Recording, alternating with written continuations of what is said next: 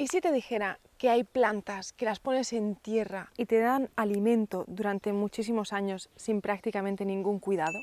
Llevo años aprendiendo de ellas y son buenísimas para dar alimento, fertilizar tu suelo y proteger tus cultivos de las plagas. En este vídeo, una de las plantas perennes que no pueden faltar en los bosques comestibles mediterráneos. Y también vas a conocer a los mejores ayudantes de los cultivos, que si los ves en tu huerta, estás de suerte.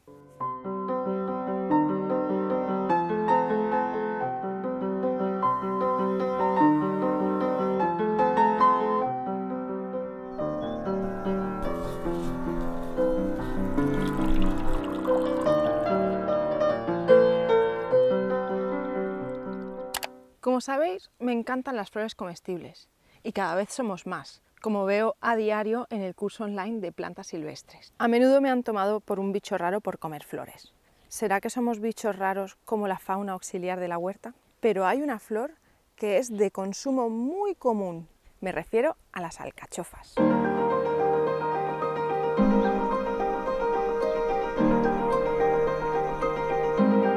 La alcachofa es un tipo de cardo sin pinchos. Igual que con otros cardos se pueden consumir las pencas, que son los tallos de las hojas, al igual que las flores inmaduras. Después de lo que te voy a contar, te van a dar ganas de cambiar la frase eres un cardo en vez de feo por alguien con cualidades de fuerza, de resistencia, de ganas de cuidar y de sanar. Las alcachofas se recolectan en primavera y hay que estar atentos porque crecen muy rápido. Hay que cogerlas antes de que madure la flor. Estas están listas para cosechar y aquí están otros tallos de las alcachofas que ya hemos recolectado. Si las dejamos madurar demasiado, se llenan de unos pelillos y unos pinchos dentro que son muy desagradables. Cuando era pequeña no me gustaban por su sabor amargo, pero con los años se va haciendo el paladar y ahora me parecen una exquisitez. Los sabores amargos se encuentran eh, sobre todo en las plantas silvestres y son muy comunes en la naturaleza. Muchos de ellos son muy nutritivos y muy saludables. La cosa es que no son tan agradables al paladar porque no estamos acostumbrados. Si siempre compramos en el súper, nos han ido acostumbrando cada vez más a consumir salados y dulces. Entonces el paladar pues ya no está entrenado para eso. Requiere de ir consumiéndolos con cierta frecuencia para ir haciéndonos a esos sabores y entonces nos damos cuenta de que tienen muchísimos más matices de sabor que en lo que vamos a encontrar de dulces o salados. Así que realmente si nos gusta comer y saborear cosas, mucho más vamos a encontrar en ese tipo de sabores si los incorporamos más en nuestra dieta. Incluso las medicinas que antiguamente eran amargas o las medicinas más tradicionales, la medicina china y sus plantas, todas las plantas medicinales, pues a menudo son amargas y sin embargo hasta las medicinas ahora son dulces. Nos han hecho adictos a la droga más potente que hay, el azúcar. Una de las más amargas, de las más medicinales, es la Artemisa annua. Nosotros tenemos Artemisa annua en el huerto y la consumimos en infusiones y te la puedes llegar a tomar incluso sin ponerle un poquito de miel, acostumbrando a tu paladar. Los suaves amargos de la alcachofa son buenísimos para depurar el hígado y el riñón especialmente, pero también es antiinflamatoria y antioxidante. Las pencas de la alcachofa también se usan para cuajar la leche y hacer queso. El cultivo de la alcachofa son estupendas para el clima mediterráneo. Necesitan estos veranos calientes, aunque ese no es su mejor momento de desarrollo. Cuando la planta empieza a brotar y se pone grande es en la primavera, pero las semillas sí que necesitan unas muy altas temperaturas para poder germinar. La planta de la alcachofa requiere poca agua no un exceso de riego, porque si no seguramente sufrirá y se pudren las raíces. Es una planta que no soporta fríos extremos. En el invierno se viene abajo. Mientras no haga muchísimos grados bajo cero, las raíces sobreviven bajo tierra y luego en la primavera rebrotan. ¿Habéis visto lo que sucede cuando dejas a las alcachofas irse a flor?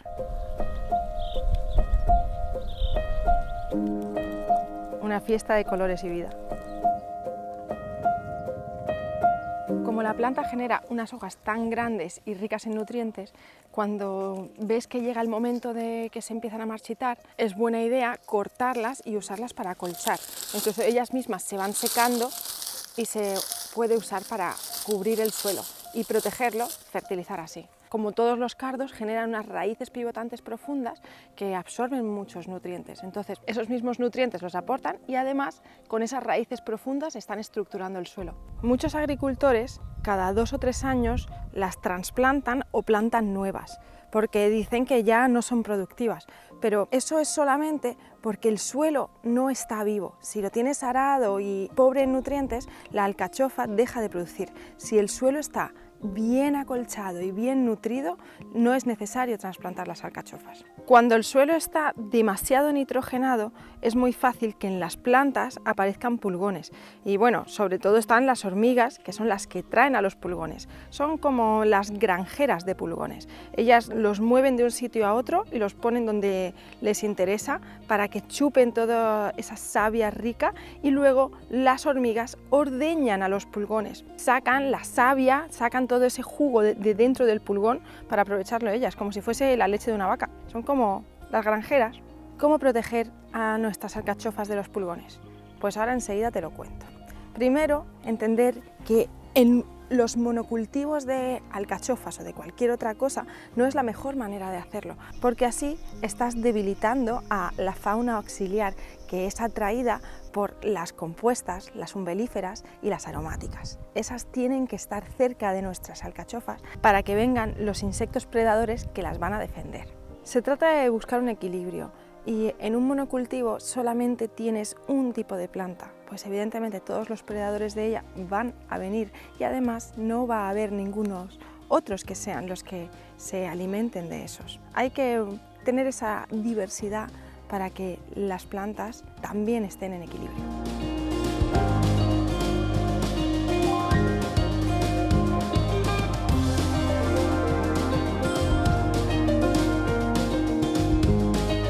acordáis de este bancal en el que sembramos el perejil, cilantro y un montón de verdes asiáticos, algunas distintas coles para el consumo diario? Pues mirad cómo está el cilantro, que ahora ya se ha subido a flor y está atrayendo a un montón de predadores.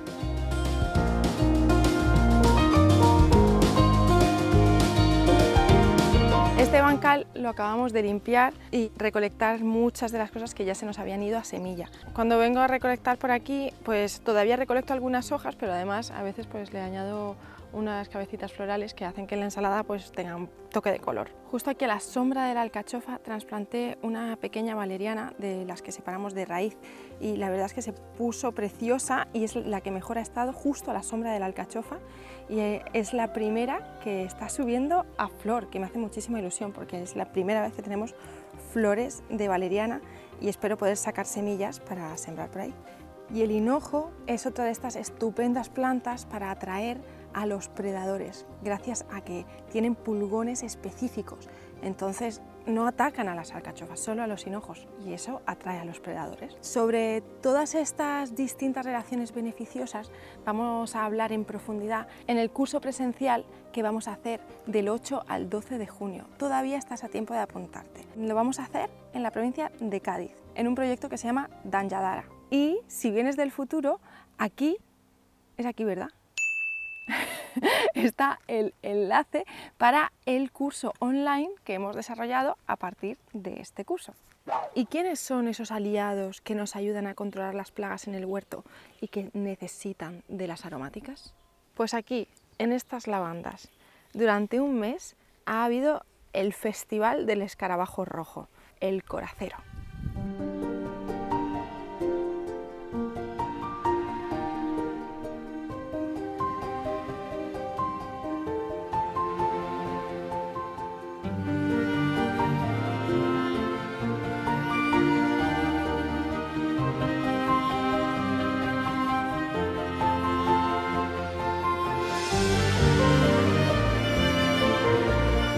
Escarabajos que se alimentan de plagas pequeñas y blandas, como los pulgones, y también de polen y néctar de las flores. Por eso les atraen mucho sus olores, los encontrarás en las plantas aromáticas. Protegen de muchas plagas, ya que los huevos y las larvas se encuentran en el suelo, depredando pequeños caracoles, huevos y larvas de otras especies. Y en la primavera y verano emergen los adultos, que vuelan sobre los tallos y flores para reproducirse y seguir alimentándose de insectos como los pulgones siendo muy beneficiosos para la agricultura y el control de plagas.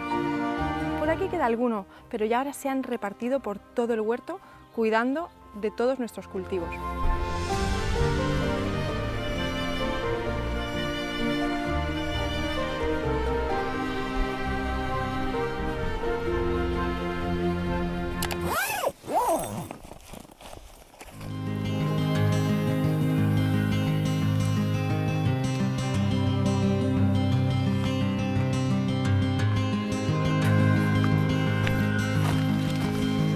Cuando hace mucho calor se agradece trabajar cuando baja el sol y refresca. Algunas veces nos atrapa la noche y es cuando mejor se está, pero para trabajar de noche necesitamos algo de luz. Hace unos meses os enseñé una pequeña estación energética que funciona con energía solar y que además tiene una linterna muy potente. Pues ahora tenemos otra más pequeña.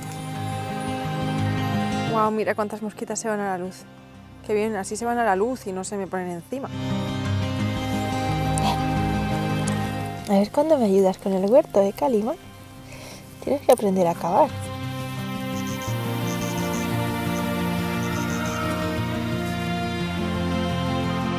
Hace unos días llegó una amiga que se está quedando en la tienda de campaña y nos está ayudando muchísimo con los nuevos desarrollos y para que tenga un poco de autonomía energética aquí en la tienda le hemos prestado nuestra estación de carga de 300 vatios con su panel solar de 100 vatios.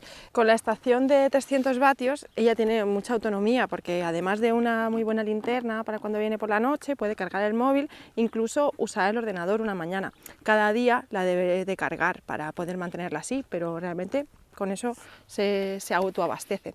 Esta estación con este panel de 100 vatios en una mañana se carga entera.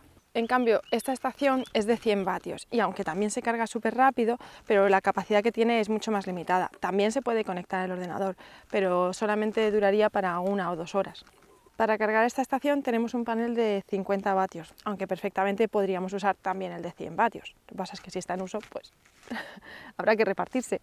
Parece una tontería, pero nosotros siempre usamos alguna de ellas, porque sobre todo la linterna es muy buena y tanto la usamos en la ducha como para alargar las horas en el campo, que durante el día hace mucho calor y ahora es mejor trabajar a última hora.